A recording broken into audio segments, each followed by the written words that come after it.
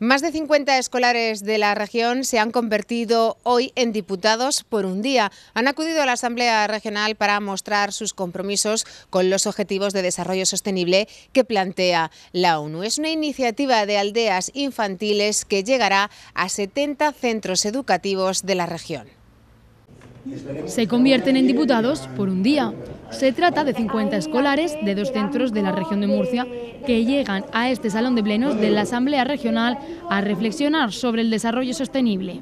Pues sí hemos traído unos compromisos a ver si se pueden cumplir. Por ejemplo, eh, utilizar el transporte público, mmm, también reducir el consumo del plástico y llevar las bolsas de tela al supermercado. Estas son algunas de las propuestas realizadas por el Colegio Cristo Crucificado. Pero no solo este centro ha estado presente, también el de Nuestra Señora de los Remedios ha planteado sus compromisos con el medio ambiente. Comprando productos ecológicos, no contaminando o preferir los productos que han plantado los agricultores de la zona para, no tener, para poder ahorrar el transporte.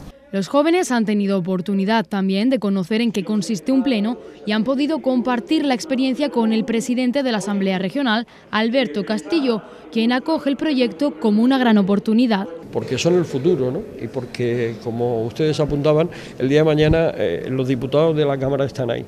Por esto mismo, la organización Aldeas Infantiles persigue su objetivo. Es complementar la formación académica con una formación que creemos fundamental, que es que los niños reflexionen en torno a valores que consideramos que son muy importantes. ¿no? Además, ser diputado por un día es un privilegio que los niños acogen con agrado. Me parece muy bien representar todo lo que, lo que nosotros hemos creado. Nos, nos gusta que nos hayan invitado porque eh, porque tenemos una oportunidad para hablar y para sentirnos cómodos. El programa Abraza a tus valores pasará por 70 colegios de la región y en él participarán más de 7.000 alumnos para reflexionar sobre la importancia de movilizarse por un mundo más justo y más humano.